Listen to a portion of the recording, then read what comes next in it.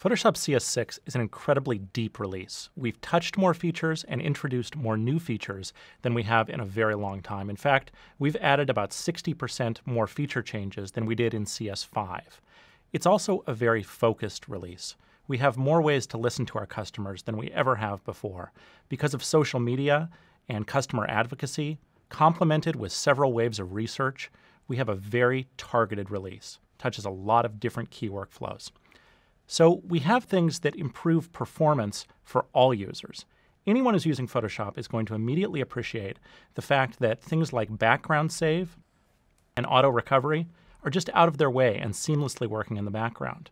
There are new hardware accelerated features to harness the power of the GPU.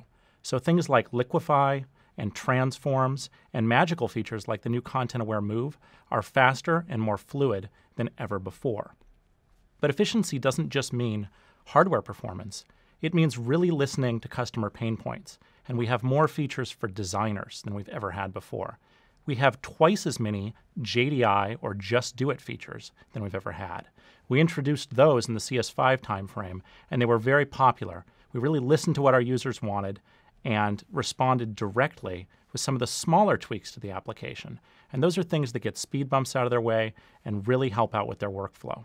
And of course, Photoshop is synonymous with creativity and magic. And so we have more power there than we've ever had before.